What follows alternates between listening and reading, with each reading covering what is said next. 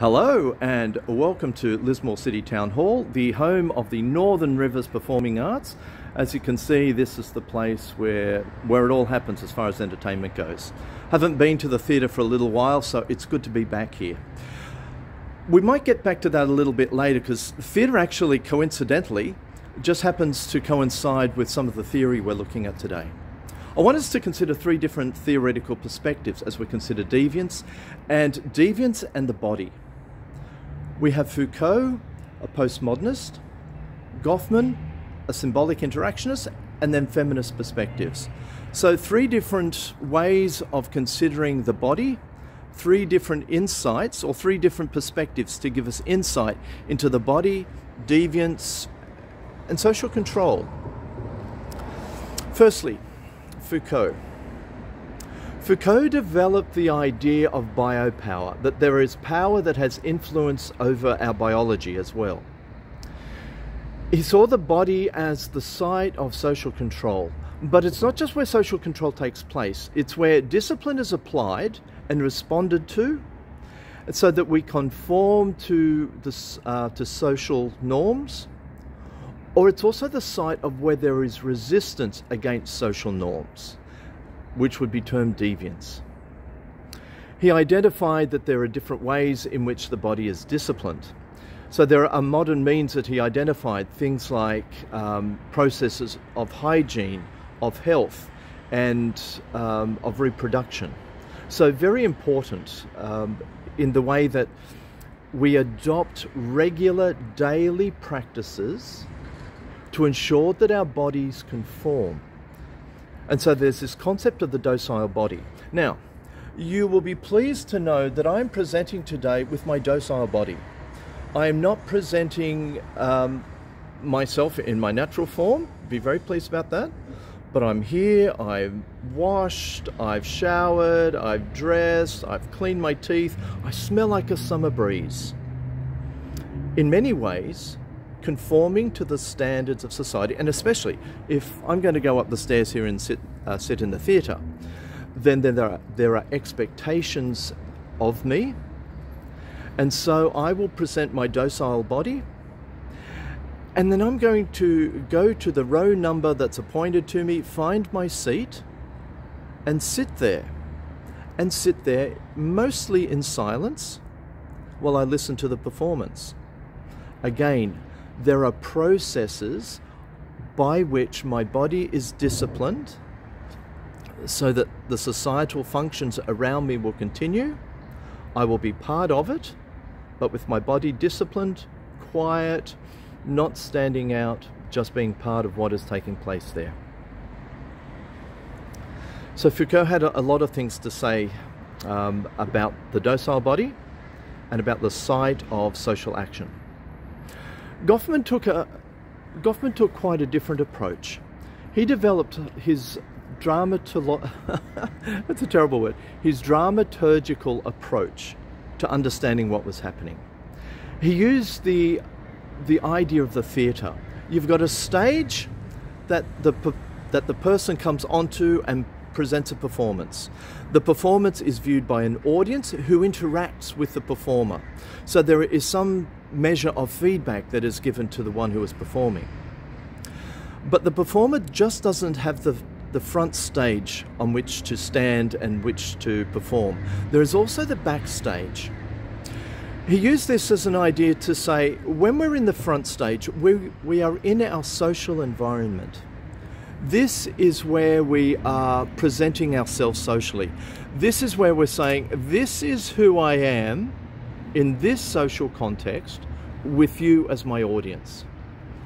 And we will perform in a certain way. We'll present ourselves in a certain way. We may use certain props so as to, to show the self that we want presented in a particular social context. Alternatively, we might go to the backstage. That's where we can be by ourselves. That's where we don't have to engage in this performativity, but we can simply be with ourselves. Now, it might be that we are also backstage with others who know us well, but at that point, we don't have to we don't have to put on the act. We can be ourselves with others, but that's a very special relationship that's being expressed there. So we have this performativity. And when we are performing, there may be things that we are aware of about ourselves that, yeah, they're not actually going to go over so well with the audience. So we will manage our performance, manage the, the way that the audience responds to us. If there are things about us that we know will be stigmatized in this particular social setting, then there are some things that we might do about it. One of the things is we will, we might try to cover it up, we might try to hide it. You think of um, stories of people who can't read, and rather than admit to being illiterate, they will find their way through it, or they'll pretend, or they'll get around it some way, but so as they don't reveal themselves as being illiterate. The same would be said for uh, someone who is gay but engages in uh, delivering queer jokes so as not to flag that he himself is gay in that particular social setting. So, hiding the stigma is one way that we might go about it. A second way is we might go and do some repair work on that stigma. So, if the stigma relates to, say, some sort of deformity that we have, then hey, cosmetic surgery. It might be that there are other ways that we we will change the way that our body is presented so that we are able to be in that performative front stage position without the judgment coming back on us. Gee, there's a whole beauty industry built up around that sort of concept. When we come to feminist theories, feminists also have a lot to say about uh, the way that bodies are presented. Now, the particular focus of feminism is the way that women's bodies are, are disciplined, are subjugated, and controlled, and particularly by a patriarchal system. And their perspective is very much on how men control women's bodies. They understand that women's bodies are, are subjectified in so many different ways. With, uh, the female body is considered and controlled because it's seen as perhaps being a sexual object for the gratification of men. Or maybe it's some it's uh, in some ways the body is the property of a man. It's also the case that women would be seen perhaps as being reduced to just their reproductive roles. So a woman is there to produce babies and raise children. So in all these different ways, women's bodies are being controlled they're being subjectified, and women are needing to conform. There is also this idea of feminine ideals.